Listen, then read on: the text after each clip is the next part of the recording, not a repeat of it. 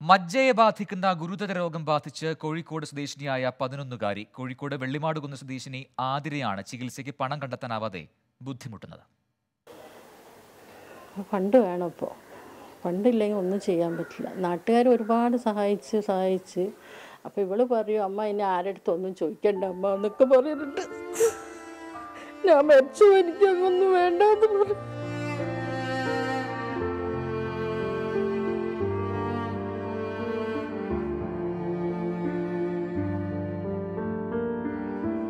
Pure red cell അപ്ലീഷ്യ എന്ന ഗുരുതര രോഗം ബാധിച്ച മകളെ മരണത്തിന് വിട്ടുകൊടുക്കാതിരിക്കാനായി പൊരുതുകയാണ് ഈ അമ്മ.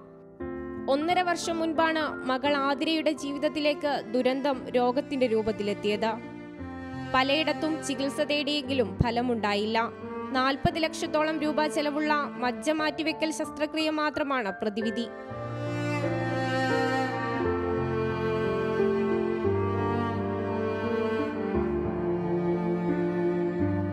പത്ത് ലക്ഷത്തിലധികം രൂപ ഇതിനോടകം ചികിത്സയ്ക്കായി ചെലവായി. വാടക വീട്ടിലാണ് താമസം.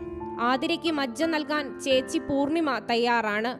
എന്നാൽ നാൽപ്പത് ലക്ഷത്തിലധികം വരുന്ന തുടർ ചികിത്സാ ചെലവ് എങ്ങനെ കണ്ടെത്തുമെന്ന് കൂലിവേലക്കാരനായ മേഘനാഥനും ശൈലജയ്ക്കും അറിയില്ല. ആതിരയുടെ തുടർ ചികിത്സയ്ക്കായുള്ള നെട്ടോട്ടത്തിലാണ് ഒരു നാടൊന്നാകെ. Twenty four Kozhikode.